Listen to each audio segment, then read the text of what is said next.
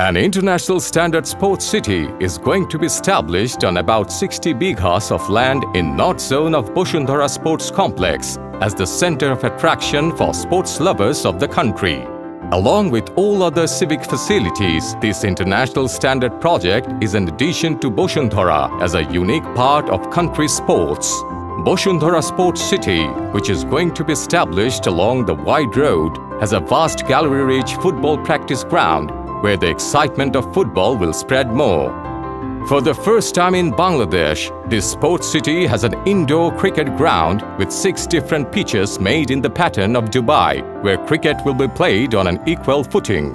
This project also has 24 international standard badminton courts. For the first time in Bangladesh, 16 paddle tennis courts will be available only in Bashundhara Sports City. For recreation, a shower experience with a bathhouse and sauna is being developed with all modern feature facilities. There is a great coffee shop for gossiping. This is like a meeting of all age of people. Five futsal with galleries will be next to a beautiful lake. No more hassles with car parking. This sports city also has a nice parking facility. Bashundhara Sports City, which will be developed as a complete package of modern sports in the country, will create a milestone in the development of sports in the country and you will enjoy a world-class sports experience within the country.